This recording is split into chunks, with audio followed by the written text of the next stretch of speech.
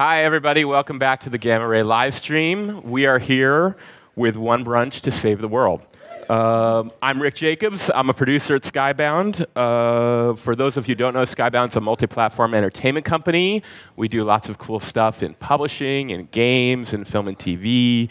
Uh, we do The Walking Dead, amongst other many, many, many fun, cool uh, projects. So uh, this is a this one brunch to save the world is partnership between us and the science and entertainment exchange which is one of my favorite organizations working in hollywood.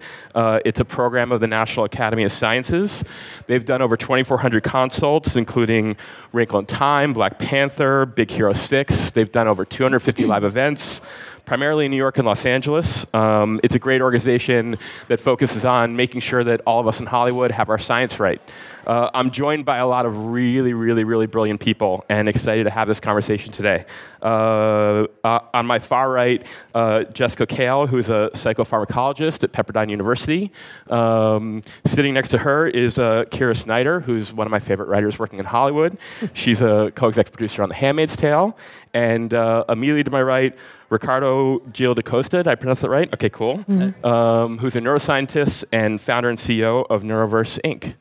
Um, I'm going to throw it to Kira first. She's going to talk a little bit about the conversations that we've all been having for a few days, and um, and uh, yeah, jump in from there. Yeah. So one brunch to save the world. Uh, the, the topic that uh, we're all going to be talking about today is uh, brain enhancement and cognitive aug- augmentation and the mind-body connection.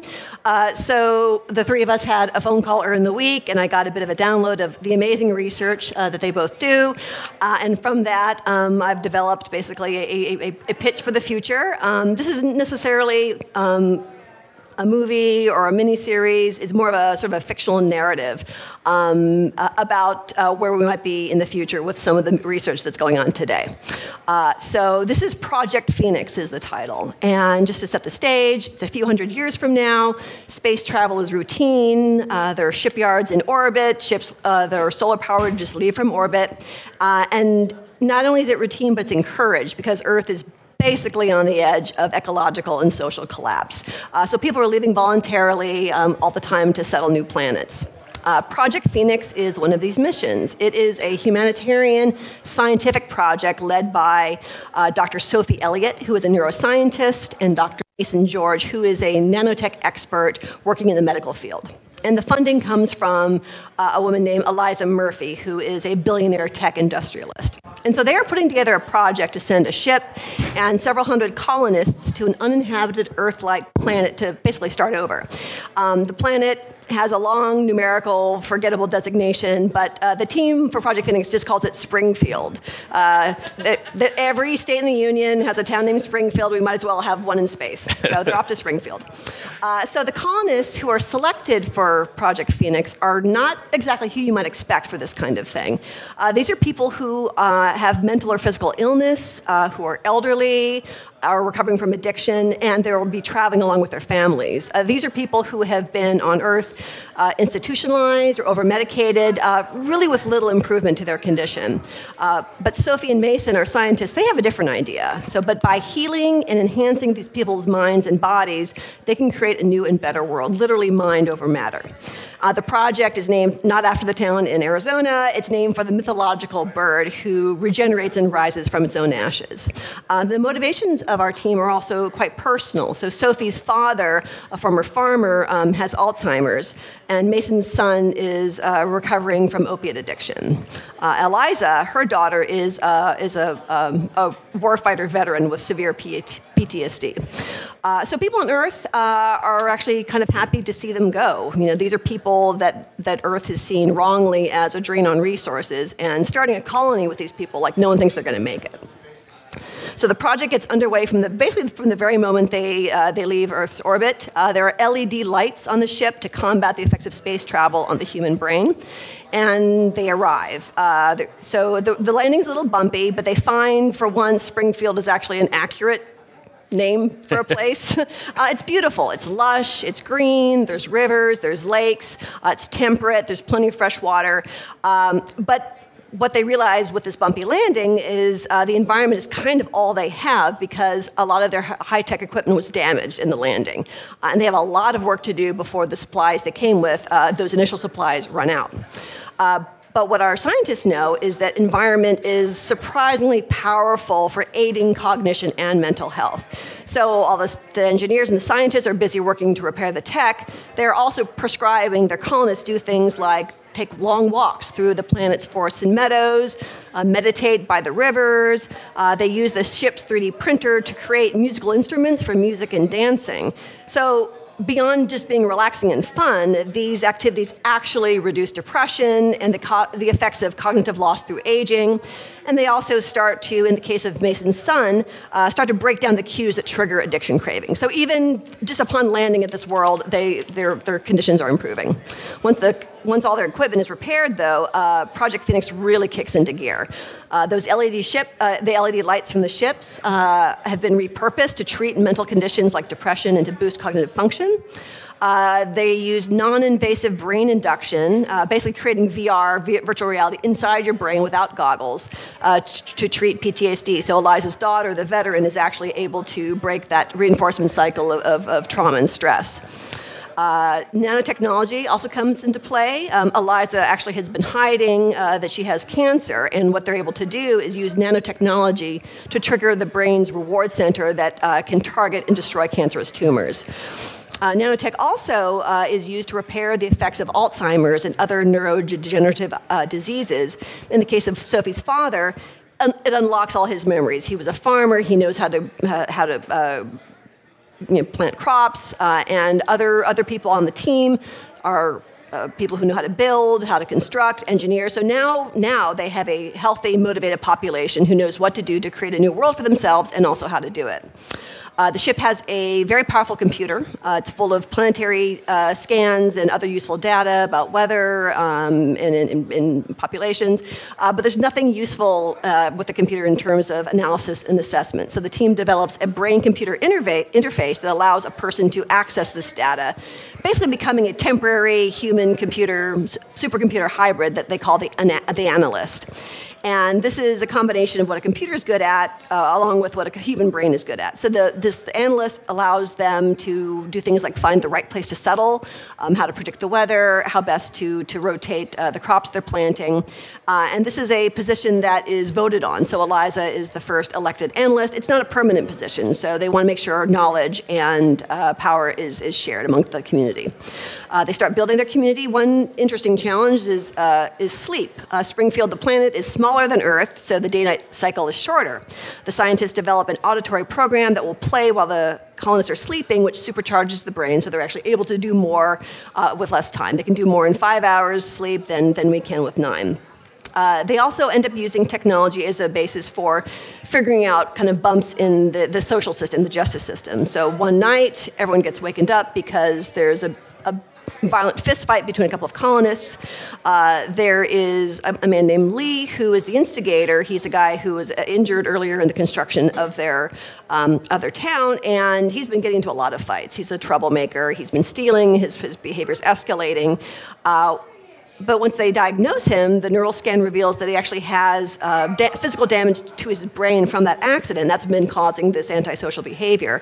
Uh, they were able to catch it early before it got worse, before anyone seriously got hurt. And that is something that, rather than being punished or banished for being someone who's a, a criminal or a violent member of their society, he's actually able to have those brain structures repaired. So he comes back to the community healthy and, and welcomed. So the colony's thriving, and in time a new generation is born. Uh, they're able to use gene editing to make sure that any neurological disorders are not passed on uh, to their children. So people who were predisposed to get Alzheimer's will not have that uh, risk as they, as they go to older. And as the colony grows, it starts getting too, uh, when, before it gets too large that the resources are threatened, which obviously is a cause of a lot of strife in the world, um, a subgroup splits off to, to a new location. And this is where the analyst comes into play again. The analyst helps them decide who will go and where, uh, ensuring a peaceful settlement. So trade and cultural exchange between the towns, uh, network of towns is robust, so everyone learns from everyone else's advancements and discoveries. So the founders of Project Phoenix, our, our original original founders, uh, live very long, full lives. Uh, they stay healthy mentally and physically well past 100 years, unlike their counterparts on Earth. And many generations later, uh, when the analysts when the analyst helps them decide that Springfield is basically home to as many people as it can comfortably support, uh, they replicate and improve the ship that brought them here. And now new groups of colonists head out into the galaxy to find new home, uh, new homes among the stars. One ship, however, actually goes back to Earth uh, to share what they've learned. So the descendants of Sophie, Mason, Eliza, and their ship of you know, Earth's uh, discarded and forgotten come back to Earth to rehabilitate and regenerate their ancestral home. And we see then that Project Phoenix has really lived up to its name, rising from the ashes. I love that. I want to be a Springfieldian. Springfieldian, Springfieldite. Spring, a Springfielder. Spring, I like Springfielder. uh, so great. Um, yeah, and and you know I I love the way, Kira, that you're able to take the story and the hopeful message and all the science that, that you know that you guys have been talking about and, and, and build a world that I think we'd all be, want to be a part of. Yeah, I mean that, that first conversation we had on uh, on Monday uh, with the two of them, I was so inspired by all their stories of, of healing and regeneration that it, it, it seemed very natural to tell that story um, right. this pitch. Right. Jess, do you want to give a little more color for uh, for some of the, the research that went into Kira's pitch? Yeah. Um, so uh, one of the first things she was talking about was the light therapy, and um, one of the big problems on the space station or with travel in space at all is that the, the period of night and day is different. Um, for astronauts, they're experiencing a sunrise and a sunset uh, on the space station every you know hour and a half. Yeah, every hour and a half. So it's it's kind of difficult to uh, set your chronological clock to that and your biological clock. There's more than just sleep cycles that adjust to those those temporal cues. And so they've changed the light panels in the space station to color changing ones that will go uh, blues tend to indicate daytime, blue and mm-hmm. white for daytime, and those in, uh, signal activation in the brain and get you to be awake and alert. And then uh, darker reds, darker lights and reds help cue nighttime. They help trigger melatonin, which is one of the, mm-hmm. they call it a chronobiotic, which is kind of an interesting term. and it helps trigger um, the urge to sleep at night and it helps set your clock. So they have them set to, I think Houston time is the one that they get set to. Mm-hmm. Uh, and so days, the day starts when Houston time starts, sunrise comes up gradually in the lights uh, and then goes down slowly uh, at night so that they can um, function. In the brain, they not that long ago, it was uh, 15 years ago, they discovered these, this part of the brain that detected light. It seemed to be light sensitive, but it wasn't receiving receptors from the eyes. Hmm. So they were like, what kind of light is it seeing? And it turned out it was detecting not light per se, like what you look at um, and, and, processing what you're seeing, but more like the general overglow of light, the, the color, the tone, the intensity of it. And that's the suprachiasmatic nucleus that uh, indicates time cues in days and nights. So there's one big thing we could do, and everybody at home can do that too. Um, most of our iPhones or other kind of smartphone have a, a light shift function where you can switch over and it'll start to dial back at sunset of your whatever your natural time is. It'll dial back those red, uh, those uh, blues and whites into a red spectrum, so it'll help you fall asleep. If you're a person that has trouble falling asleep, uh, switching your lights over that kind of helps at the beginning. Um, let's see, another thing she was talking about was um, getting out in nature and helping um, treat mental illness that way. They found that people who get out and walk, even uh, 30 minutes two or three times a week um, is comparable to Prozac for some kinds of depression. Not severe, severe, more biologically oriented depression, but perhaps um, a rough patch in somebody's life, that kind of mild, more mild depression. Um, getting out, exercising preferably in nature where you can see trees, where you can see greenery, and, and it's helpful that that planet had some, some greenery there.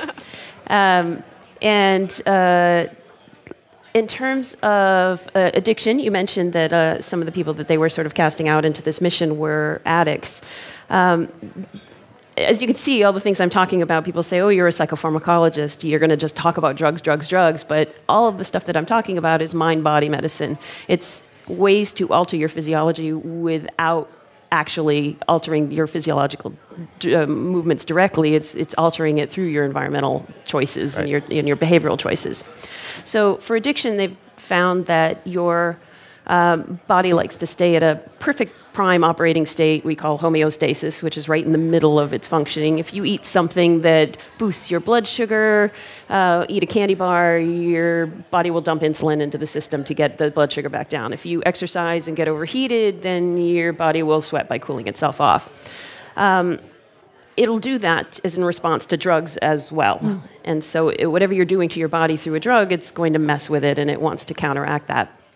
So, th- we've learned that it's not just the physiological aspects of addiction that are important, it's also the fact that um, certain associative cues related to your addiction get triggered in as well. So if you remember Pavlov's dogs, where you know ring a bell, feed the dog, ring a bell, feed the dog. Well, it's the same thing, except it's an environment and the drug, an environment and the drug. And people tend to use drugs in the same environments. It could be a physical environment, as in a, a, room where you shoot a drug or smoke a drug, or friends that you smoke a drug with or, or, drink. It could be a bar that you always go to. It could be the fact that you always smoke a cigarette when you're commuting in the car. It could be any of those things. Those associations get paired in with the drug addiction. And treating the drug addiction, I'm, I'm not sort of anti pharmacology, obviously, I'm a pharmacologist, but if we could, as, a, as an adjunct, treat the behavioral aspects of an addiction, perhaps we could also alter the physiology mm-hmm. um, of those things. So, if you could break the association between the car and the cigarette smoking, then perhaps somebody wouldn't have the craving to, to smoke a cigarette once they have quit and detoxed. They wouldn't have the craving to smoke a cigarette once they got into that car. Um, and so, so certainly. What, for, sorry, what yeah, does that ahead. look like? Does that look like having them drive a bunch of times without the cigarette? That's so exactly it. And so, I mean, it's not going to make a ton of money for some pharmaceutical company, but you know, if, if somebody, uh, I tell the story about uh, a, a, true story. It was a group of girls were um, shooting heroin, sadly, in uh, the girls' bathroom. Uh, opiate addiction is rampant. They were shooting heroin in the girls' bathroom before school in high school. And they would always shoot up in the girls' bathroom before class. And if you think about a person's body, the first time they shot up, they probably used a beginner's dose of that drug. They went into that bathroom, they shot up the drug. Their body responded to it hugely in the opposite direction, going, oh my gosh, what the heck was that? But in the meantime, she got the largest dose of pure pleasure. This is not an advertisement for heroin, by the way. she got the largest dose of pleasure that she's going to get from that because the body didn't know how to counteract it. But right. over time, as she uses it day by day, the body gets better at knowing as soon as she walks into that girl's bathroom, that environmental cue says, This is what's about to happen. And the body starts heading in the opposite direction just enough to cancel out some of what she's about to experience. Right and it's good but not quite as good. And then over time it gets not quite as good until the person says i'm not getting the juice out of it that i used to which is tolerance part of tolerance. And so unfortunately they don't quit. They end up using more. And so they use more and then the body gets good at canceling that out and more and more and more until they end up taking doses that some addicts are, are taking nine times the lethal dose and they can survive that just because they're so practiced at it.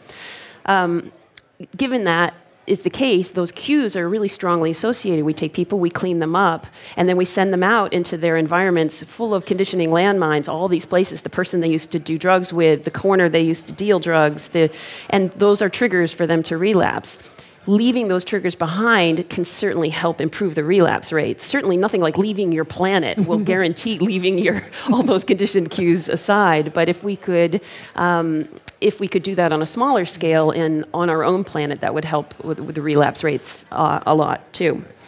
And um, the last things, oh, last couple of things I want to talk about is um, a little bit of pharmacology because you were mentioning uh, drugs. If there are, if the technology went away when they crashed, they may not have access to all of their pharmaceutical supplies. But if it's a if it's a planet similar to ours, there might be some natural products that they could use. Um, and I wanted to talk about one aspect of psychopharmacology, which is really interesting and it's on the forefront, and it is um, uh, psychedelic therapy. Mm-hmm uh, I know for a long time in the in the 60s and 70s there was the whole you know the tune in drop out. Um, Timothy Leary got fired from Harvard because he was advocating using psychedelics as therapy. Um, the things like ecstasy, uh, MDMA, have been used in Europe for quite a while for therapy, but in the United States because those things were associated with parties and raves and things, those things were banned. But they do have uh, pharmaceutical benefit and therapeutic benefit for sure. Um, they're listed as a Schedule One drug, which means that they're not allowed to. They don't have any medicinal benefit that they could see, but they absolutely have medicinal benefit. Benefit. It's taken decades to get the, and it's only been in the last couple of years where a few research studies have come out showing the benefits of hallucinogen therapy. And I wanted to mention a couple of these. I have some numbers here that I didn't memorize because it's kind of new stuff. So currently related to post-traumatic post-traumatic stress disorder. Currently, 850,000 veterans have post-traumatic stress disorder, meet clinical definition. And um, even if we were not in a war situation, we're going to another planet, certainly there are going to be stressors that occur in a trip, a long trip to another planet. Um, this most recent study that's come out, um, they took 26 policemen, firemen, and vets with post traumatic stress disorder, and they gave them three sessions of ecstasy therapy. All of these hallucinogenic therapies are guided by a therapist. Mm-hmm. So they gave them three sessions, one session a month, um, guided by a therapist to mm-hmm. talk about their issues. After the second of three sessions, uh, two thirds of them no longer qualified for a diagnosis of post traumatic stress disorder. Wow. That's amazing. Um, and they checked in on them after they did the three sessions anyway. And after the third session, they checked in on them a year later, and the benefits were still there. So it's not like it crept back in. Uh, another study of magic mushrooms. Maybe your planet has magic mushrooms. Um, they took um, cancer patients who were very stressed out about um, about impending mortality, and they gave 80 cancer patients one session of magic mushrooms, gu- um, guided by a therapist, and they found that 80% of them came out of that one session with an, a significant reduction in depression and anxiety that was still there six months later. And when they asked, you know, what is it about that experience that helped you, they said that their patient, the patient's trip, they were guided in their trip to go in and confront their cancer personally and um, cancer and, and, confront their fear of death. And at the end of that, they came out feeling better about their life, better, less stressed. And stress is related to your immune system, which is related to everything, including fighting cancer. And so all of those things tie into health and wellness, and very few of them are pharmaceutical per se. And just is that changing? I mean, is this research actually creating any change around the, the thoughts around? I think so. This, this research on, on magic mushrooms is sponsored by MAPS, which is a private organization that's been trying to get the government to rethink its position on, on, uh, on these hallucinogenic drugs. And they've had to entirely privately fund all of these studies themselves because it's a Schedule One, it's a legal drug. They can't, the government can't give a grant to study these things because it's technically illegal. So right. perhaps we need to rethink some of that. Right, right. Fascinating. We have toys. We have toys. We have some toys. Ricardo, um, can you talk to us about the toys? You want to know about the toys? I'm really curious about them. Um, we'll get to the toys. Yes. So, well, first, so, yes. So, so, first of all, you know, it, it's always I've been doing this for the exchange for the national academies for almost 10 years now. But I feel like every time they work with with a new entertainment professional. Um, a writer like like Harry, it, it's so much fun, and it's such an you know such a great experience intellectually, and just a lot of fun doing it. Um, having that said, one of the things that I love about the story that, that you created and, and we worked on this time is that it really touches in very important problems that we have right now.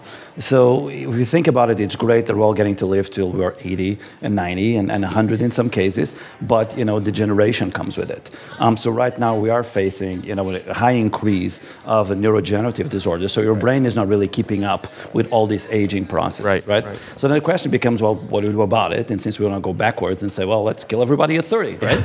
so what do we do is, is we're trying to really We've look. We've done that in movies. We've done that before, right? It doesn't work out so well. Yeah. Um, so, so there's two main sort of approaches that a lot of people in the neuroscience community are working on right now. One is, you know, and, and Jess, you know, definitely tapped to some of this, is looking at it from a well-being perspective, independent of an exact disease or pathology. What can we do to make your brain better? Um, and that means that in some cases, you know, um, delay onset of disorders like Alzheimer's or Parkinson's, and, and try to at least push that back, mm-hmm. or not make it so suffered so much from it. Um, in other cases, it's really just on education and young kids try to really build up this mental performance. And you can do it in many ways. The other side of it, of course, is dealing with the disorders that we already have and having you know, solutions for pathologies for all these different things. Now, we use all sort of brain imaging tools and cool toys, as you pointed out, to do these things. Um, this is one of the traditional ones. Um, this is an EEG cap. EEG stands for electroencephalography. So this goes in your head if you want to don it, but don't can worry I? about it. you can. I mean, feel free. all these things, um, so all these are electrodes, and they're basically sensors uh, that would put on that cap, and then this gets connected um, to a big amplifier, the amplifier to a set of computers. You have a technical team to. Beautiful, see? You look perfect. look perfect. Um, we take about you know 30 to 45 minutes what we call capping. All the, so right. the gel connected, you know, Right. all the, this cool stuff. And then what we're really looking at is we're looking at brain waves. And what does that mean? And you know, your cells in your brain are firing um, as they're working. Every time that they fire, they create this electrical energy that gets released. It goes up to your scalp, and we're measuring changes of these electrical fields in your scalp. And we know for quite some time that these changes are associated with different neural networks, so parts of the brain working together on things like attention, memory, language integration, all you know the good stuff that, that makes us humans. So this is sort of the standard, you know, for EEG uh, on labs, and you know, uh, like I said, it takes a whole customized team. We like to call it portable, uh, but you know, when it's more than a big fMRI scanner that takes up a whole room, Right. uh, but it's still you know within its constraints. Right. So one of the things that you know might be kind of cool for you guys to know as well, and we discussed this a bit, is a lot of the stuff that you're hearing from Kira that might seem too sci-fi-ish.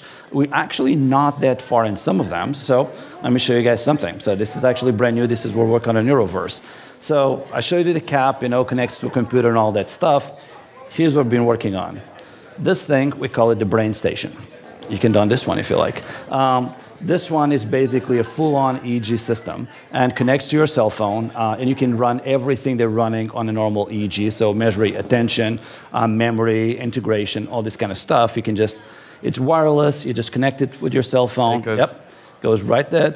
Um, Is it going to stay on? Or? well, you have to Oh, I have put to an whole thing. adhesive. Anyway. It has like a double tip adhesive if you wanted It's to put it on. small. Uh, but basically, you can get it anywhere. And one of the reasons, the motivation for us to do this, is we really wanted something that will be portable, that will be part of your everyday life. Because as Jess was, was pointing out, a lot of these things are about integrating, you know, brain monitoring and neurofeedback into your daily life. So what we like to do with this, well, one part is monitoring your brain states. And you can do it sitting on your couch or surfing. We talked about this earlier, or hang gliding. Um, but then the other really interesting thing is using tools like neurofeedback. So at the same time that we're reading your brain waves, we can actually try to modulate it using different stimulation. And in this case, you know, I'm not talking about the electrical currents. People are doing that, and that's neurofeedback as well. We're talking about something much less invasive, like you know, sounds or, or images, or you know, put it in specific environments, like you know, when you do daily life activities. Uh, we've been collaborating with, with all kind of, of different people looking at mindfulness, for instance. Uh, with Deepak Chopra, we've been talking to him about now. We're talking to um, the Laureate Brain Research Institute. We have this long um, collaboration looking at um, another tool that is now uh, kind of an interesting intervention called the sensory deprivation chambers or float tanks. Sounds better, I guess. Um, so that, that actually puts you in a specific interoceptive state. It's totally non-invasive. Um, you lay there in the darkness, no sensory stimuli of any kind, and what it does is your brain becomes in this interoceptive state. We're actually able to read it throughout the float. We're able to record your neural signature doing it, and what that allows us is that afterwards to train you with neural feedback to get back into that state. Um, to do that again, you know, if possible, in the absence of drugs, other kind of solutions. Uh, we're doing this with anxiety disorder patients and with PTSD patients. So this was one of the things that could be an interesting solution in this kind of, of environment. Um, there's all sorts of things that, that we've been doing with, with this, um, as and others with these kind of systems. Another interesting one that, that we talked about it, and, and Kira touched on um, script, uh, was the sleep aspect of it. Um, you heard Jess talking a little bit about the, the LEDs and changing of the lights and how circadian rhythms really, you know, manipulate this thing, which is definitely true. Another thing that we're doing with this, uh, and we're currently already doing it, uh, we're working with um, Walter Reed, so with the Army and, and some special operations uh, on this, is basically reading your brain waves during sleep times. Uh, we can stage them into light sleep, deep sleep, REM, and each one of these stages has its own merits and, and is on obviously important part of your cycle. But as part of deep sleep, there's something called slow wave oscillations period. And what it means is it means your brain in a specific state and it produces this kind of slow waves. We know that that part is absolutely crucial for the recovery of, of your brain and consolidation of memories, etc., throughout sleep. Um, so that only happens in the percent of the time that you're in deep sleep and not throughout all the deep sleep, so just a part of it. So one of the things that we're trying to do when you do it, and that's what we use for the script, through auditory stimulation. So um, using specific auditory sounds. We record your brain in real time. When you get to a light sleep, we start pushing this auditory stimulation to push you to deep sleep and keep you on that slow oscillation period for a longer time. By doing that, theoretically, the idea, and there's different teams showing reports on this, we're working on this now, the goal of this will be exactly to be able to get the same level of sleep recovery in a much shorter period of time. Wow. So if you can compact, so sort of your sleep on steroids, right? um, and again, so there's all sort of things that can be done with this. Uh, we discussed quite a bit this idea of augmented cognition with brain-machine interfaces, and you know these hybrids, you know, between uh, computer and, and, persons, and and this is something very interesting to me. I've, I've discussed with many people, both on entertainment and on the science community. This is part of our daily lives is how we do to, to, get augmented cognition. And independent of this move towards artificial intelligence is really thinking about what is it that computers really excel at and what does our brain do best. Right. And they're not necessarily the same thing, right? right? So computers really can take a vast number of information, do a quick triage to it. But the decision-making process, we're still extremely good at doing that. And when we try to replicate that computer-wise, we can get certain results, but definitely not the same, and we want to be part of that process. So looking at uh, synergies that can, you know, get that going and can promote those kind of approaches, getting what's you know more powerful on the computers on that, like we're doing on the analyst, right?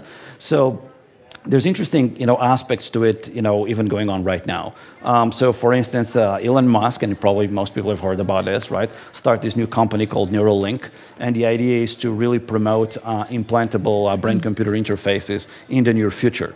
Um, it will be not easy to get there, both scientifically and also to, to pitch to humans what's the value to do something, to actually implement something. Um, that, that's one of the things we're excited about with Neuroverse is try to bridge that because there's definitely a lot of gain to be had to have these brain interfaces um, that can help in all sorts of things. Uh, but you want to create that value in society through time and then you know look at it from an implementable perspective if it makes sense to do so. Um, but also you know another project that I think is fascinating, even though it's not BCI per se, but it's part of drove me to, to suggest this when, when we had our meeting, um, was work done by Patrick Soon-Shiong at NantWorks, where he's really looking at, well, his main goal is to solve cancer, but he's doing this by really combining information and creating new correlations. So what he's doing is creating this large network with fiber optic, get all sort of information from genomics to physiological measures from each person to different pharmacological approaches, right?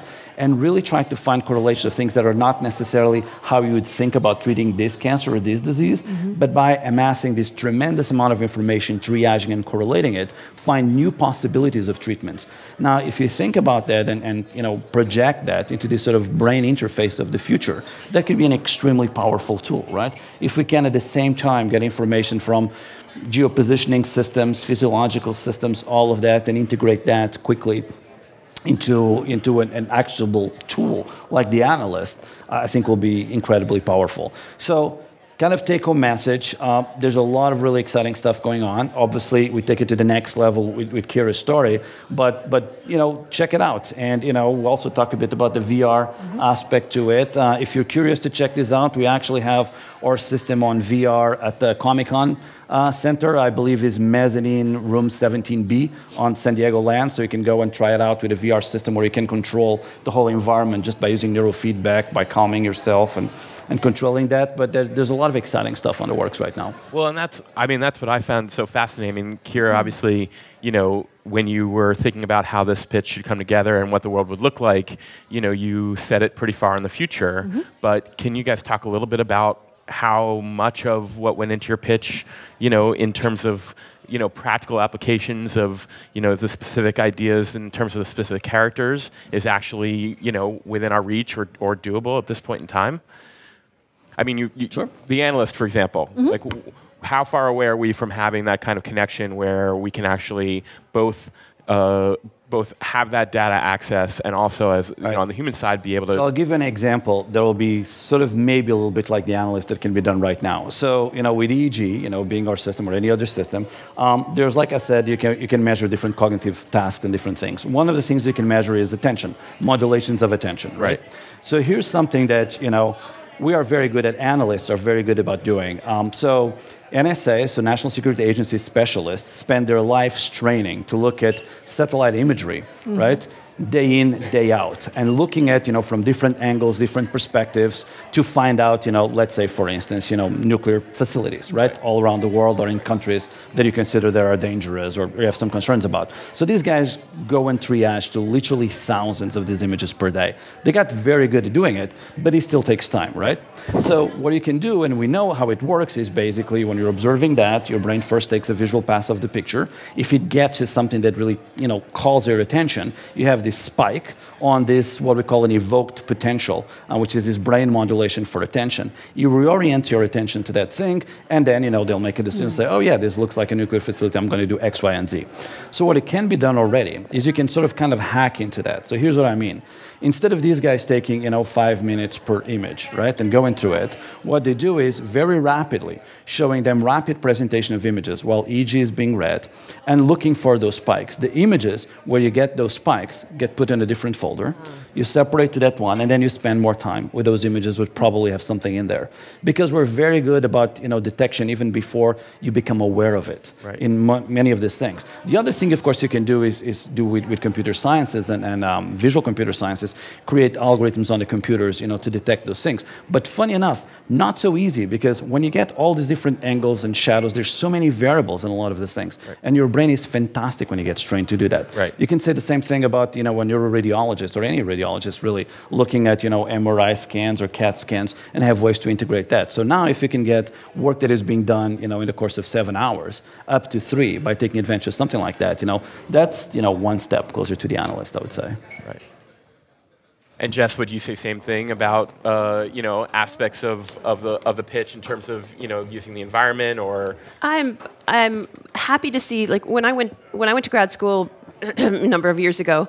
Um, to talk about mind body medicine was, you know, you, you were kind of crossing this invisible line. In, in our psychology department, the downstairs was all clinical psychology and the upstairs was all biological psychology. And the floors almost never spoke to each other or crossed over at all. Right. And, you know, and, and you take a class in the downstairs classrooms or the upstairs classroom and they say, well, you know, in the biology floor, they talk about how this is all your chemicals and that's all it is. And then the other ones would say, oh, well, downstairs they would say it's all talking about your mother. But, um, but in reality, I, I, knew that there was more connection between those as possible, but it, it still really wasn't a popular idea. But now you're starting to see. Uh, cross-disciplinary this this line between your your body like your body is a real thing and your mind is this all in all in your head. Like why did that become a phrase of uh, representing imaginary? Nobody says oh it's all in your liver. You know like it's a it's a real part of your body um, the fact that they're connected, and now we're starting to see things like uh, sleep. It relates to your immune system, and your immune system helps uh, uh, fight cancer. Immune immunotherapies. We're seeing sleep helps um, helps clear out beta amyloid protein, which contributes to Alzheimer's disease. And now we're like, wow, you can just alter physical body by getting more sleep, by taking walks in nature, by um, removing yourself from the environments where a traumatic thing happened, or maybe disconnecting yourself from those things. It, sometimes one of the other things that I'm seeing coming out is um, to try to head off a disorder behaviorally before it even kicks in. So one of the studies that they were doing was going into a place where like a tornado had rolled through and where a high number of people would likely get some sort of post-traumatic stress um, out of that. They don't know who in advance is going to develop post-traumatic stress as a result of experiment experience and who won't. So if they give those people a, uh, a beta blocking drug, a stress blocking drug, for just 48 hours after the event happens to keep them from reprocessing that trauma because we tend to revisit, oh my gosh, that just happened, oh my gosh, that just happened. And every time we do that, a little jolt of you know, amygdala limbic system activity kind of juices up that memory and then it can get locked in. If we can prevent that rehashing from happening really early, maybe the disorder won't even set in. So I'm loving how much I'm seeing almost every day. Scientific American feed or my news feed is just full of mind body medicine that makes me very happy. So are we already doing that with soldiers that are coming back for more? I mean, we're, we're starting to get there. I mean, these studies with, with MAPS, um, these studies with, that, that's an organization that works on uh, hallucinogenic psychedelic therapy these studies, Europe's been doing this stuff for ages. They say that one session of couples therapy on ecstasy. Now, this is not use it on your own and let your, your buddy who's a, a psychic trip advisor, you know, let you guide you through. This is, this is guided by trained people. But uh, one, one couples therapy on ecstasy is the equivalent of, they say, about six months of traditional couples therapy because on a small dose of pharmaceutically pure ecstasy under the guidance of a therapist, you drop your walls, you get back to the original loving feelings, you're more empathetic to the other person, and you just sort of get right to the meat of the situation sooner without having to break down all those walls. Europe's known this for a while. We just have to get past that. And I am not advocating, you know, dropping the war on drugs and everything. The opiate problem is a huge problem.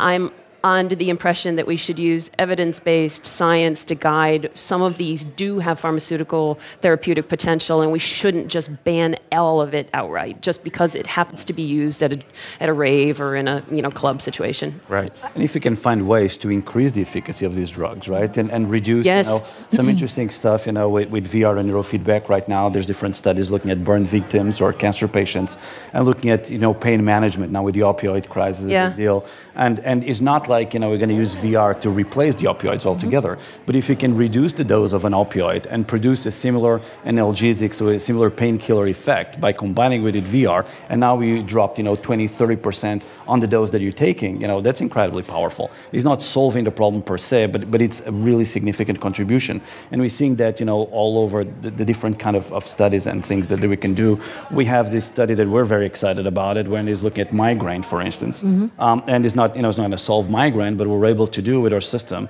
is recognize an upcoming migraine attack 24 hours before you even start having any symptoms. It's amazing. Oh, wow. So by doing that, right, any kind of triptan drugs that are usually used for migraine, you can do it very early in the process. And what it enables you is one to sometimes really abort the crisis altogether, or at least to reduce the severity and the length of the migraine crisis. And you know, migraine, we talk about 14% of the world population, right. 36 million Americans alone in this, and it's incredibly debilitating. And it's cripp- yeah, it's crippling, right? Exactly. And so lose, people lose work productivity. People mm-hmm. lose, you know, the, it's it's the people change their patterns of living in order yeah. to avoid them. It's it's incredibly debilitating. You know, I, I, you know, until we actually started working on this years ago, I you know was not a clinical population I was very familiar with, and I've been surprised. I mean, patients come to us and even just saying, even just the fact of knowing that it's coming, just allowing us to, you know, reorganize, replan the next day, avoid stressors, you know, do that, that's already huge. And of course, if you combine that with increased treatment efficacy, then it's, it's, it's a really big deal. And you're right, it affects productivity. It affects, you know, it's interesting. A paper just came out two years ago.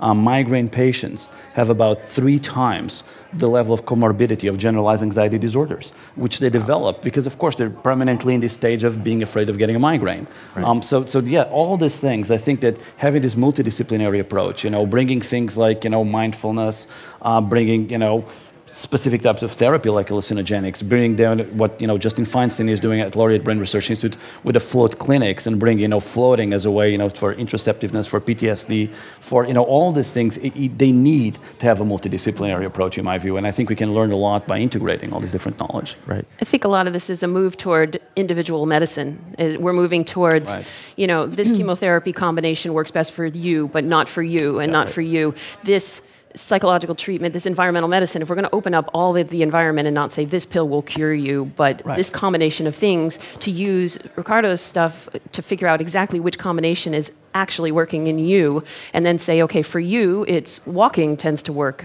in nature tends to work but for you it might be meditation and for someone else it's yoga and for someone else it's this. It's all mind, mind body medicine but we need to figure out exactly what works for each particular person. It's not going to be a one size fits all for everybody. Yeah, i agree 100% as, as, as human beings we're you know the idea of the, the universal cure all the panacea is very attractive. Um, what what are the risks of pseudoscience? I mean, people are desperate for cures, for therapies, for themselves, for loved ones.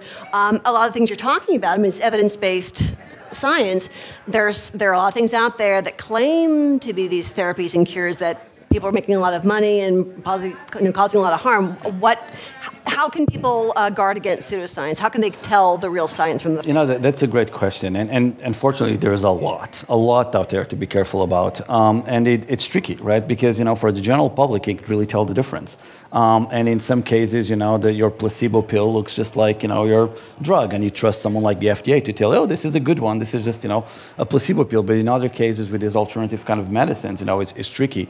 Um, there was you know issues a couple years ago that, that were brought up by different companies doing these mind training and neural training games, right? And the idea is that if you use specific structures um, onto you know push your mind in specific games you could train attention memory etc right and In some cases, you can actually develop neural plasticity. So in other words, your brain can actually change to accommodate, right. you know, this, this new thing, and with that, it develops, you know, it strengthens your cognitive abilities. The problem is just like in pills, not every pill is the same pill. Mm-hmm. And games that kind of look like it doesn't mean that they're necessarily working. And, you know, you, you take something that you did in the lab in very specific conditions, and then you put it, you know, into society, and now you have, you know, 50 different games spawning out of that. Well, very specific things like, you know, in some movement playing game, the time that each you know, agent is on screen, the, the interval between two agents, all those things are very, very important. And they're just like you know, fine-tuned gradients in pharmacology in a pill. So you really need to, so I'll say two things, right? So obviously you want to be responsible if you're in a company. Unfortunately, a lot of people are just there to make money. Um, there's great examples. Um, Akili Labs is a company that was spin-off of uh, UCSF, of Adam Gazzaley's lab, and they've been doing all the right things. They got through FDA approval now, and they have a game to help treating ADHD in kids, which is fantastic. But if you're going through all the process, you know, FDA approval right now, you know, to, to get through the game like we're doing for migraine and other things, I would say, look, and, and, it's not easy, but if any company is telling like, oh, we can do this, you can do that, ask for scientific publications, mm-hmm. right? Ask for peer-reviewed papers, ask for presentations in Congress, in scientific congresses, versus you know just some guy who's doing it. And and look at their scientific team, right? Make sure that when you look at the cool core management team of the company, is not you know ten marketing guys, a designer, uh, and three biz dev guys, and then there's some guy that study I don't know, neurosciences on his bachelor's. You know, you don't want that, right? You need to have a strong scientific team, you know, at the head of the company, and then you need to, you know, still really look for a track record for whatever it is that they're saying they're doing, whatever the intervention might be. You need to have professionals from that in that, and you need to have some kind of scientific track record. And for us in sciences, that means presentation in conferences, and that means peer-reviewed papers. If they got that and they go through that process, it can still fail. I mean, we're all humans, but at least you know that they're going to the right things. If they're basically something that they spun out in six months with no evidence-based things, but then they say, oh yeah, this is proven because in the lab, but not their lab, someone else's lab five years ago with a different thing did, well, then, then I would definitely advise for caution there. So Kira, how do you, so there's obviously a challenge. I mean, I love the fact that the, the topics that we're covering today and this year uh, are all about saving the world and making the world a better place. And, and, uh, and I think that's really fun. What's the challenge for you in, in using all this great science to, to inform your storytelling, and particularly when it comes around, you know, comes to like creating a story around a utopian society?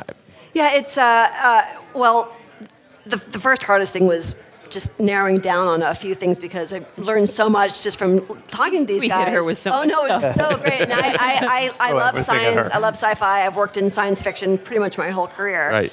Um, and I just, I'm a bit of a science nerd. I, I just love this as, as, a layperson. So there was so much to choose from. Um, but I was really moved by, as I said earlier, their, their stories of, of healing and regeneration. And I was interested in telling this particular story, not just to be the save the world thing, but um, uh, people who are struggling with different types of physical and mental conditions, because often, uh, I, I, think I'm concerned about the, the te- technology gap. So um, a lot of the work that is uh, is being done is funded by the government. It's for the military. Um, longevity is very popular as a topic among certain Silicon Valley billionaires. You yep. know, there, there's a real risk of the, all these advancements going to the haves, not the have-nots. Right. So I was interested in telling a story sort of saying, look, technology should be for everybody's benefit. And actually, that's a question I would have for you guys: is like how. How, how can we uh, close that technology gap? Sometimes it's market forces. So remember how big and expensive cell phones used to be, and now everyone has one. Electric cars have been a lot more affordable. Um, how do we keep, when, especially when it gets to things like longevity and like physical health and mental well-being, how do we keep that striation from becoming too extreme? I think that's why I like behavioral medicine because it's something that anybody can do no matter where they are. Right. You know, you don't need a smartphone, you don't need a, a elite hospital within a few blocks of you. You only need to get out in nature or walk or uh, experience time with friends or you know social interaction or to break your environmental cues. You can do all those things for free wherever you are. Yeah. And that's why like Oprah's campaign to get people walking, all that stuff was so successful, yeah. right? I mean, you know, it didn't it didn't require uh, you know millions a gym of membership dollars or, or anything. gym membership even, right? It just it just getting people up and moving. Um, yeah, I think doing that, I think creating alternatives, right, that you can use, you know, easily. I think even on the technology-wise, if there's something that is actually of value, but you can do it at a really lower cost, mm-hmm. and you can make it accessible to everyone. And again, it's not for that one billionaire that wants to save himself, not the world, hmm. but it's really about creating disruptive things. And you know, one of the things to be disruptive, and just touch upon this very well, is is one it needs to be personalized right now. You know, mm-hmm. any kind of medicine or treatment, it needs to be really targeted at. And what it means is that, well, then it means that it needs to be low cost. It needs to be usable everywhere it needs to be intuitive. It's not going to be, you know, that you need to train for six months to using it because nobody's going to do it. And it needs to be interesting enough to keep people using it. If it's just a one case scenario, if you really need it because you suffer from a pathology, you're going to do it, like a migraine. But if not, you know, on well being, you know, we all know going to the gym is great for us. And we all get gyms memberships if we can afford it. But then how many times we actually go to the gym? That's a different thing, right? Right. So you need to create it in a way that gets weaved into society and becomes part of your normal behavioral pattern to do these things and promote these things. And, and you're right, it can't be, you know, for some elite. It needs to be something that can really translate, I think. Mm-hmm. But that's also where our partnership comes in, right? I right. mean, that's where, you know, the opportunity that the, the Science and Entertainment Exchange Absolutely. offers to, to have us in the entertainment community take the storytelling that we're doing and, and, and inform it with all the science that you guys are, yeah. are, are working on can help get that information out to a, I think a it is, is, a tremendous service, you know, because one of the things is by, you know, integrating in narratives, just like Kira did, it's very different. Well, first of all, it's, it's, projection. We'll talk about it in a second. But one thing is very different for us to talk about a disease in abstract or a problem in abstract right. or actually associate with a character that people actually care about. Right. If you use the character as a vehicle for you know whatever concern or promotion you want to do is a hundred times more efficient, right? Because now they actually relate to it versus right. just this abstract notion of something, right? And then the other thing, of course, is just you know it's just a platform. How many people it reaches, right? We've been you know I'll give an example five or six years ago at, Comic Con, I got asked uh, with, with David Saltzberg and the team from The Big Bang Theory. I had just actually presented two posters on the Society for Neurosciences meeting mm-hmm. uh, on some of the research that we've did, right? And you know, it's for science purpose is a very big meeting. It's about you know 39,000 people. So you know for a conference, it's pretty big for us. And um, and they asked me to do some consults for them, and then they wanted to do some stage dressing. So you know they asked me for the posters, and they put it on you know um, Amy's laboratory, the neurosciences laboratory. Right. And one of the episodes, they have you know the character Sheldon and Amy having this dialogue, and the posters is right behind it, right? I got so many emails, calls, right? And I'll guarantee you that you know nine or ten million people watched that episode. It was the most ever seen scientific poster from SFN, right? right. I mean, it, it's things like this, and if we can, you know, work together, and, and, especially, and I think this is something that you know I learned throughout the years. I know that Jess did as well, and we all do it. Is when we work together, it's not about you know working with writers about oh this is wrong, don't do that, or you can't do that. It's not about being a referee, right? Right. It's really about working together to figure out what is right for the narrative and for for the story and not make you know the science and the story competing but instead actually making inform each other right. and making it richer in every way being characters being you know the dramatic arc being whatever it might be and if you do that some of the information that we can put in there you know is fantastic we're talking earlier about you know how we started know, one of my first uh, gigs on consulting many many years ago uh, was on Fringe with jj right. abrams uh, alex kurtzman bob Orci. and in one of the episodes, and we went through a lot of things, but one of the episodes that I wanted to do some mind control. And, um, and of course, they go for the traditional thing. Oh, we're going to hypnotize people. And mm. It's like, oh my God. You know, my two biggest beefs are always like, we only use 10% of your brain. No, if you do that, you're dead. and B, we're going to hypnotize people, right? right? To make them do things. Uh-huh. Well, here's the thing you can't do that hypnosis only works as a voluntary process. Right. The person actually needs to agree with you and go through the process for that to work. Right. So that, that's a deal breaker right there, but you keep seeing this thing done. So they came with me to that, and I said, don't do that, please. you know, let, us find an alternative. So work with TMS and other ways to control brain and cause disruption, whatever. But then in the beginning of the show, there's this thing.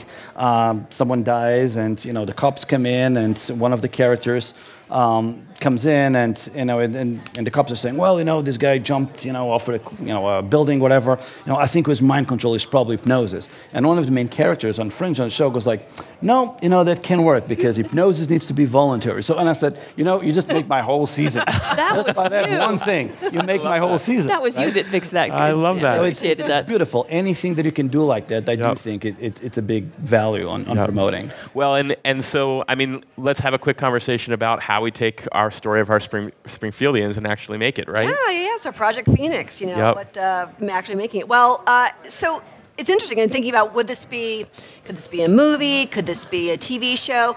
Um, I did craft it so it had an ending, um, but it's also covering a lot of a, a fairly significant span of time. So maybe a limited series would be a good kind of model for it. Well, and I'll be the producer for a second. Okay. Because, I mean, I think the thing that's interesting to me about these stories, and particularly the challenge of telling stories about utopian societies, is that part of what allows us to engage in storytelling is to engage in conflict, right? And you were, had a specific uh, set of parameters, but when I heard your pitch for the first time, I actually jumped forward because to me, the plot point that I think would be the interesting starting place is to see Operation Phoenix having gone out in the world, and then now they've come back to Earth, Right. right? And so, what is that going to look like when you've got uh, now a generation has gone by? We've sent what we thought were our misfits and castoffs out into space, thinking that we would never hear from them again and that they would die off because how could this how could this community survive and thrive? But now they come back and they're healed and they're offering this message of hope.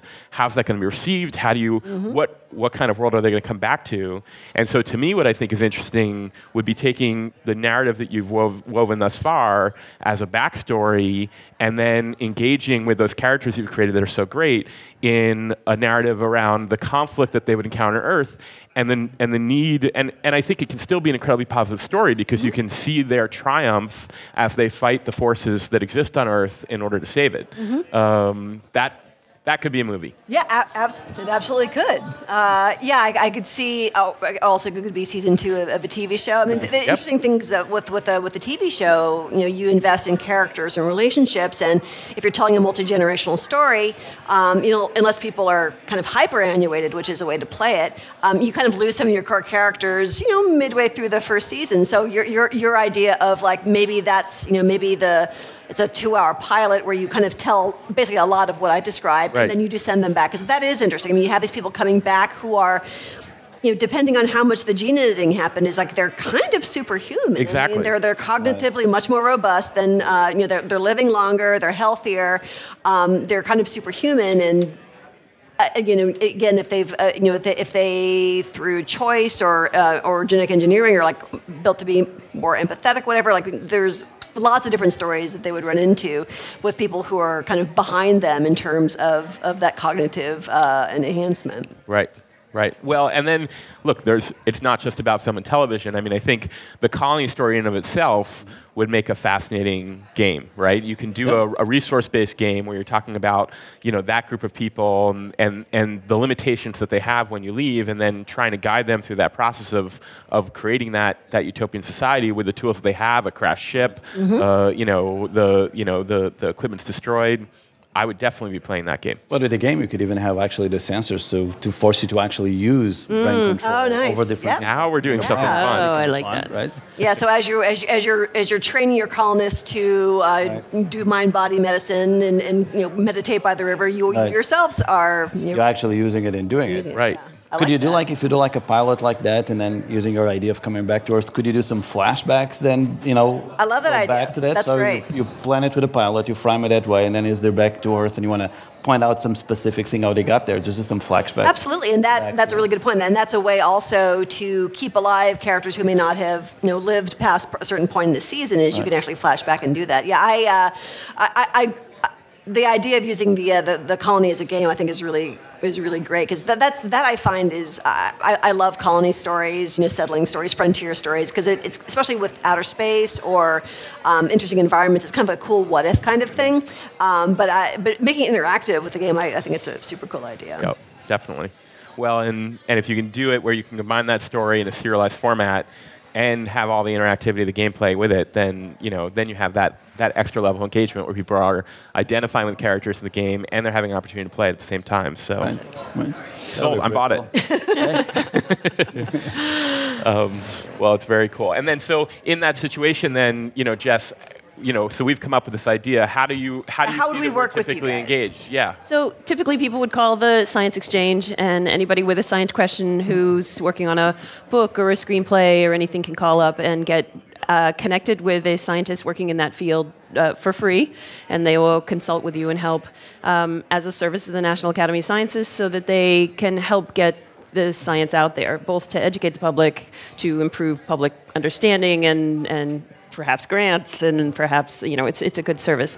But they would call get connected and then you just you you, you sometimes we go for coffee uh, we meet for lunch or something like that or sometimes we just talk over email or phone and they would just um, ask their questions and we would help them out not to correct what they need to do but to figure out how scientifically um, i call it plausible-ish to make it plausible-ish mm-hmm. just to get enough science in there so that they can get where they want to go because it's it's their job to get where they want to go. Right and we're there to serve their vision, not them to turn their vision into a dissertation. You know? Well, and we appreciate that because yeah, it does make our stories better. Yeah, it's a fantastic service. I'm, I'm, I'm, working with a couple of scientists through the exchange on a, a screenplay that I'm working on, very different idea than this one. Um, and it's been exactly that. It's been this, this great kind of uh, ongoing conversation. They understand what I'm trying to do, I understand what they're trying to do, and it just makes the story better. Well, thank you guys for joining us on the Gamma Ray live stream. Appreciate it, and uh, you know, thank you everyone who's uh, who's been watching. Thanks everyone.